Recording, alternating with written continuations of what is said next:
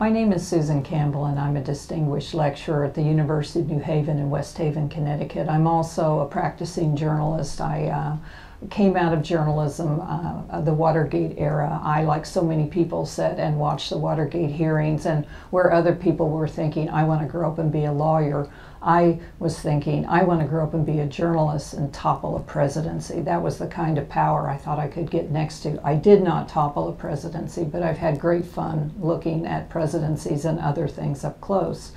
I want to talk a little bit about the importance of journalism. It doesn't take a journalism professor to see that the industry has changed immeasurably. We are corporate owned. There's such a conglomeration of five or six companies that own 90 plus percent of the media outlets in the country. And so there's been a drawing back in higher education, unfortunately, for teaching journalism or for putting resources into journalism programs, and that's an absolute huge mistake. We will always need people who can assimilate facts, figure out what the facts are, and assimilate those facts and present them in such a way that the average American resident can figure out what's going on. We always need people who can edu educate, entertain, and enlighten people.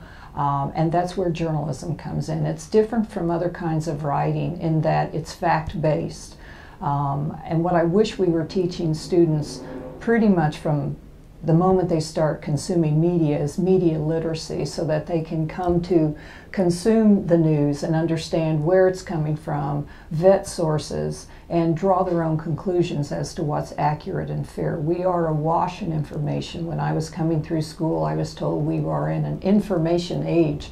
We are also in a misinformation age made easier um, to spread with social media. What I wish would happen was that people would learn how to consume media and that schools would focus very much on teaching people how to present facts um, because without facts we have nothing.